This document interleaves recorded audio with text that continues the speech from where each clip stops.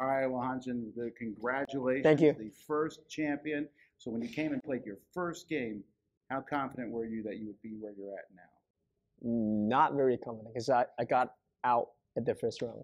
That's Splendor, and uh, I, I I just lose it right away. Yeah. So you lost in the first round of Splendor. What was the game that you then won the whole thing with? Uh, I, I won it with uh, Blood Rage, and that's my last game. Like we are pretty much just pack up, and then yeah, that's my last hope. When you were picking your four games, was Mhm. Blood Rage the one? Were you very confident about that one? Definitely not. No. What was the game that you thought you would win with? I thought Splendor and Great Western Trail, but then those two are the one I got out at the first round. Okay. Well, then, Okay. so after Blood Rage, Mhm. what was your second game? The quarterfinal this morning. oh, uh, Carcassonne?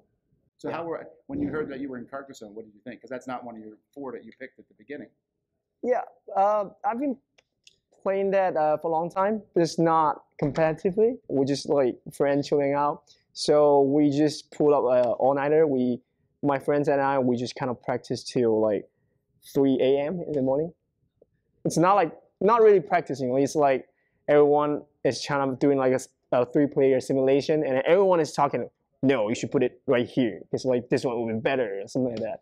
So it's it's a it's it's a great experience. That's like But you didn't have that time going into Dune Imperium. I, I don't. So were you when you heard that you were going into that game? What were your thoughts?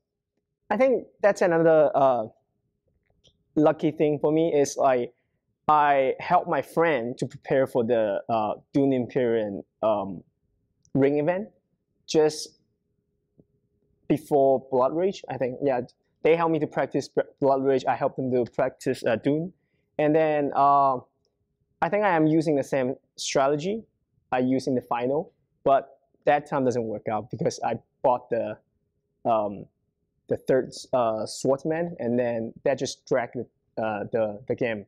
But this time Yeah. you just rushed right for the victory. That's that's kind of what you were trying to do. Yeah, because I know what not to do last time.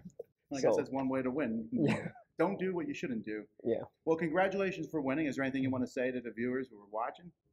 I I I am pretty much speechless right now. Um, well, um, I guess now we can finally call ourselves worthy opponent. Please go to our channel, What It- channel is this? worthy opponent. Oh, we're opponent. Oh, okay. Yeah, it's right here. We're, we're the opponent. Right here. Ah, well, there you go. There's a plug right there. And so, what is that about? What's the channel about? Well, Games? It's a Chinese speaking uh, board game channel. So we have like a regular um, board game related podcast style uh, video show. That, so we just kind of talk about uh, the games we play recently, especially the new games, and also some board game related topic. I bet the fans of that show are really excited right now. Yeah, I, Well, think so. Yeah, Congratulations. Thank you. Be a, a true world champion. that's hard to imagine even now. Well, I can Wow. imagine it. Congratulations. Whew. Thank you. Thank you.